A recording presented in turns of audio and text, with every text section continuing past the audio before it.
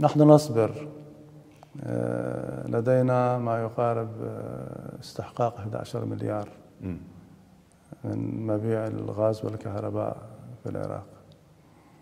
آه، لكن نتطلع إلى دولة رئيس الوزراء السيد محمد الشاه السوداني يستخدم علاقاته مع الجانب الآخر اللي فرض حصار أربعين سنة جائر ضد الشعب الإيراني أن يسهم في حل مشكلة ونستوفي استحقاقاتنا من العراق إن شاء الله بأسرع وقت ممكن. يعني هي بسبب العقوبات؟ بالتأكيد.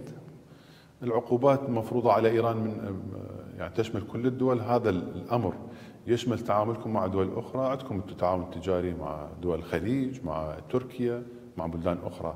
لا حتما عندنا تعامل مع دول المنطقة. زين. عندنا مع تركيا مع عمان مع الإمارات.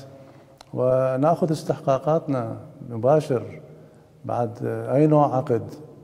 لكن المشكلة في العراق لا أعرف شو يعني مداها ووضعها لذلك نتطلع إلى موقف إن شاء الله جاد يسهم في حل المشكلة.